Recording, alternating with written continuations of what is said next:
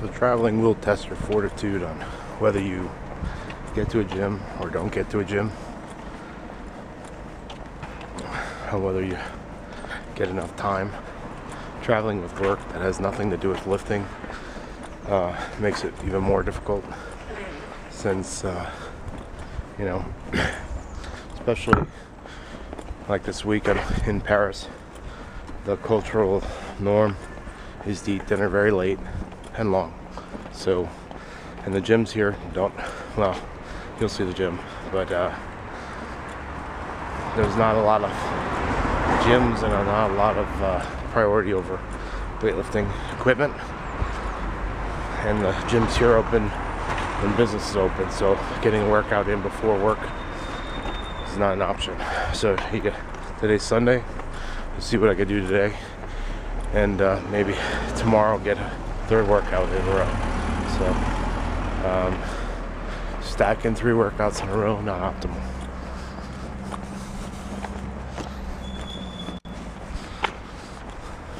But what are you gonna do?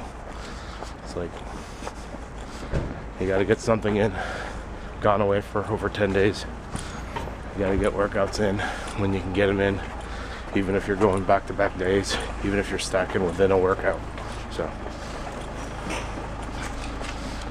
I was able to find a gym that actually had Sunday hours and uh, Sunday hours and was in walking distance of my hotel. So.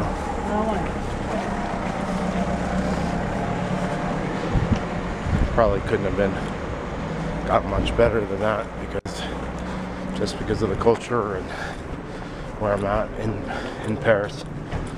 Probably couldn't have gotten much better than that as far as the where I'm at and what I'm trying to do so today last night I did squats or yesterday afternoon I did squats this morning I'm to do bench press and then I'm hoping to get a deadlift training in Monday or Tuesday. So that's kind of the idea.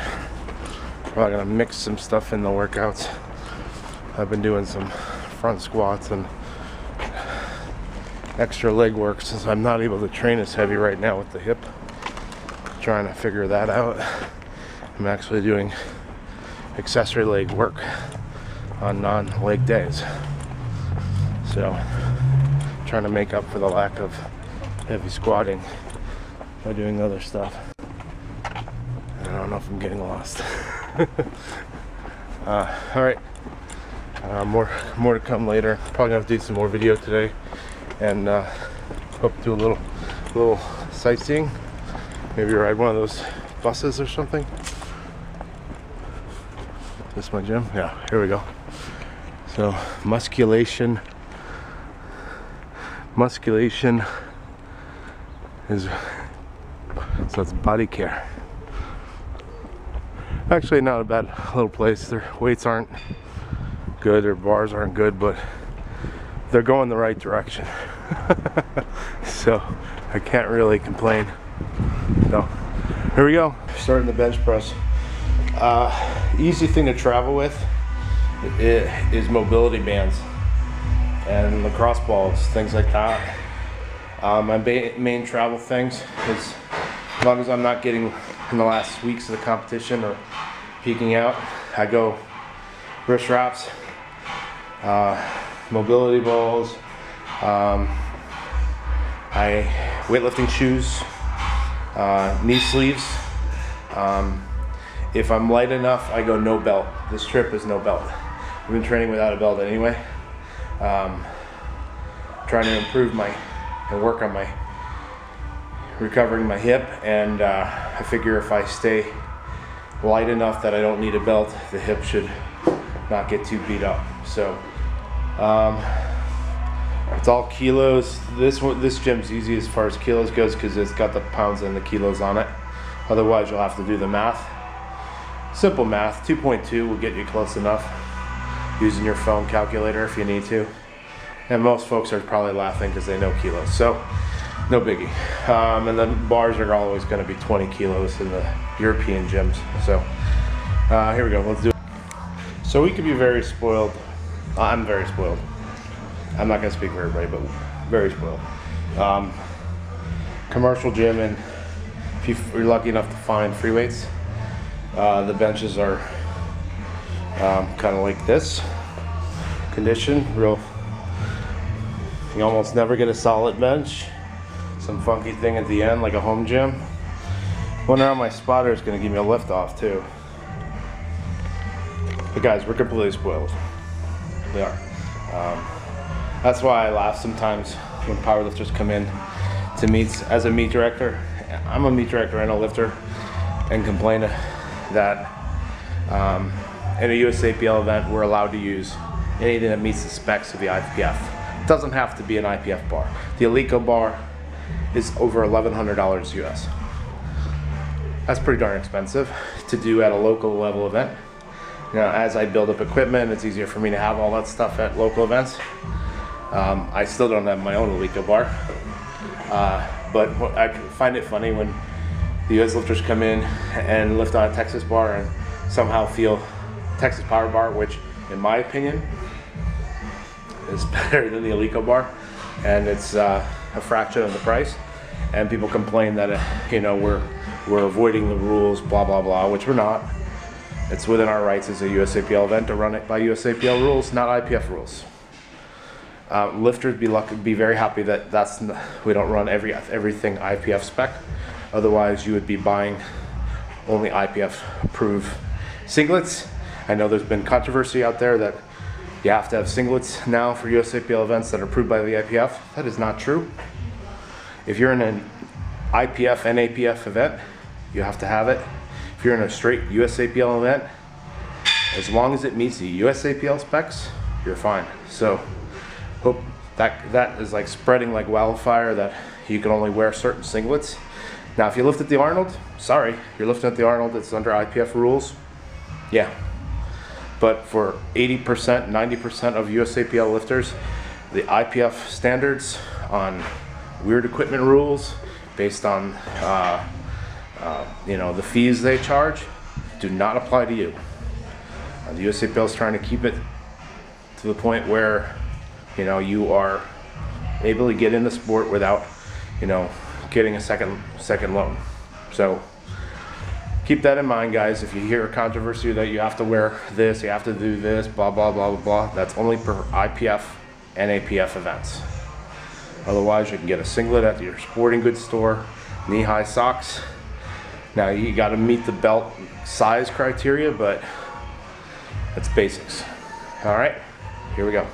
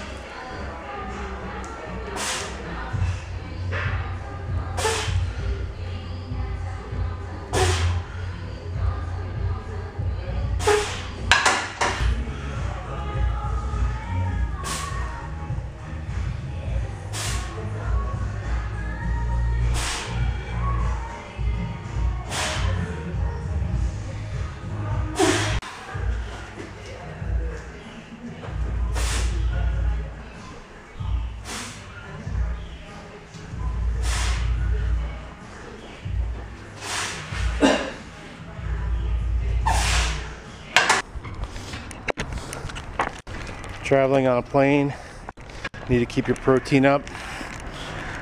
Pretty much the most convenient route for me is protein bars. Do the Quest nutrition bars. Um, get like 22 grams of protein in them. So helps with travel, dealing with shakers and and uh, protein powder on the road. Uh, especially in an international location, it's a little harder last thing you want to do is put a tub of protein in your carry-on in a like a Ziploc container or whatever and uh, have get stuck in some sort of customs hold because of it. So don't ever do that. Always, if you're gonna carry, if you're gonna decide to do carry on, make sure to do it uh, in its normal container. Otherwise, you'll still get inspected. But but I wouldn't even do bother with that. Just do protein bars for your airplane ride, and uh, yeah. Getting strange looks here, so I'm gonna shut off the camera. Besides just lifting today, Sunday, I am being a sightseer here in Paris. And uh, that's the Louvre right there.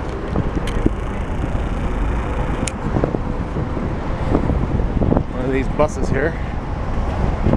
Just checking it out. I'll give you a few video shots. I'm gonna try to brought a bunch of snacks and I'm being a pure tourist this afternoon.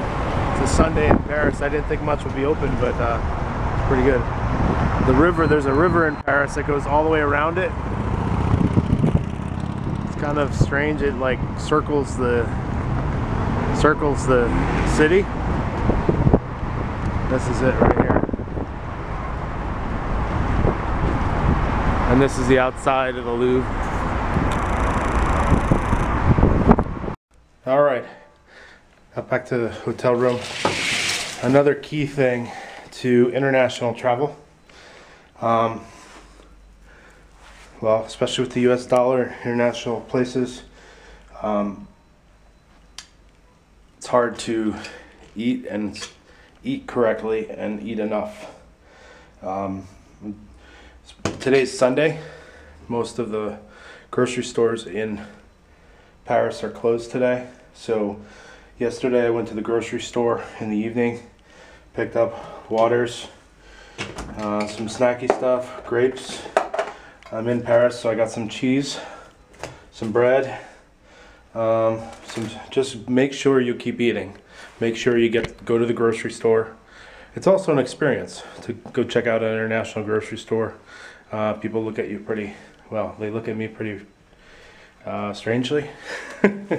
um, and, you know, uh, one thing I found out last night, well, this is starting to become a common in the US, is you have to bring your own grocery bags or they charge you for it.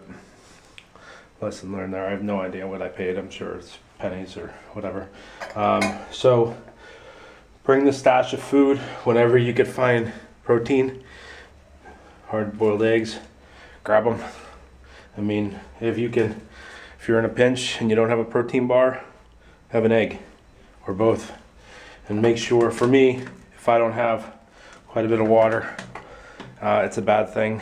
I have to keep my hydration up. I'm also an old man, so I've got medicine and all sorts of things for my arthritis. so, um, yeah, keep that in mind. I mean, even if you're having a miserable trip, if you can keep food in you, I always feel better. Even if uh, I'm working crazy hours, can't get to the gym, don't get to the gym at all, like when I was in Mexico in August, eat. If you get through an international trip and don't get to the gym at all or very little, but you kept your body weight up by consuming enough protein and stuff, that would be a win. So keep that in mind when you're doing international trips.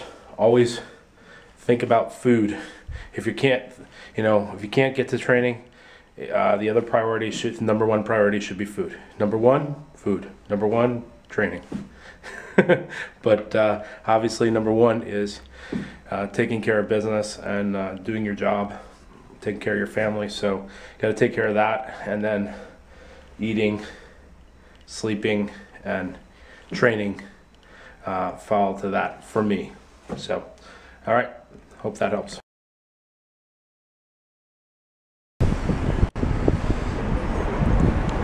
Notre Dame.